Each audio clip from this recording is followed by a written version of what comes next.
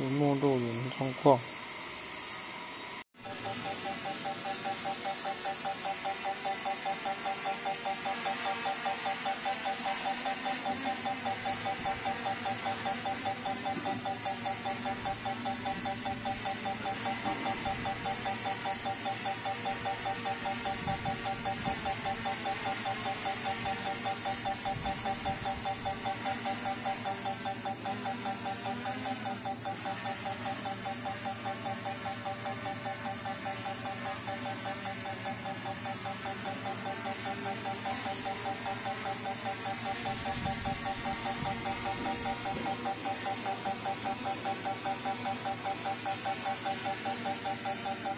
降落。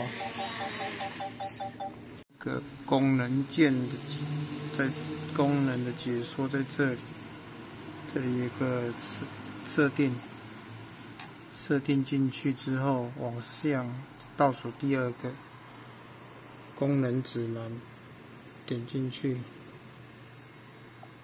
点进去之后它就会开始解说，然后。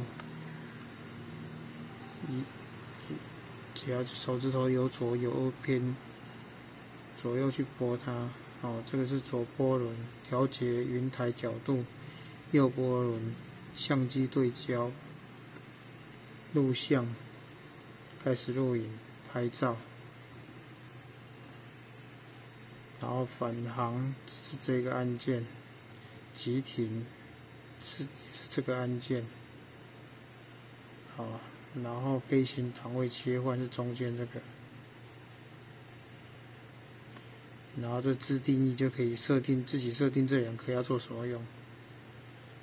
然后红灯常亮未连接飞行器，绿灯常亮已连接飞行器，黄灯常亮固件失败。然后蓝灯闪烁遥控器与飞行器对频中，黄灯闪烁遥控器低亮报警。青灯闪烁，遥感不在中位；红灯闪烁，遥控器温度过高或飞行器电量过低。